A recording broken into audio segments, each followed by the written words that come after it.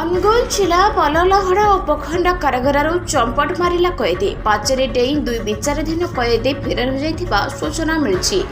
ଗତକାଲି ସୋମବାର ବିଳମ୍ବିତ ରାତିରେ ଏହି ଘଟଣା ଘଟିଥିବା କୁହାଯାଇଛି ଫେରାର ଦୁଇ କଏଦୀ ହେଲେ ଡିମିରିଆ ଗ୍ରାମର ବସନ୍ତ ମହାକୁଳ ଏବଂ ଖମାର ଥାନା ଓଡ଼ଶ ଗ୍ରାମର ନେଣ୍ଟୁ ନାୟକ କଏଦମାନେ ରାତ୍ର ଭୋଜନ କରିବା ପରେ ନିଜ ନିଜର କୋଠରୀକୁ ଯାଇଥିଲେ ତେବେ ରାତିରେ ବର୍ଷାର ହେଉଥିବା ସୁଯୋଗ ନେଇ ଦୁଇ କଏଦୀ ଜେଲ୍ ପାଚେ ଡେଇଁ ଫେରାର ହୋଇଯାଇଥିବା ଅନୁମାନ କରାଯାଉଛି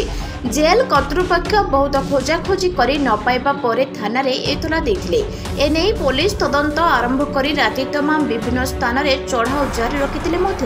এজাইন ধরবার সক্ষম হয়ে পারিনা বর্তমান জেলরে মাত্র ছ সাত জন কয়েদী থাকবে কয়েদীঙ্কু জেল কর্মচারী সংখ্যা অধিক রয়েছে এরপরে দুই জন কয়েদী পাচেরি ডেই কেমি ফেরার হয়ে গেলে তাহলে এবার বড় প্রশ্নবাচী ব্যুরো রিপোর্ট সকাল খবর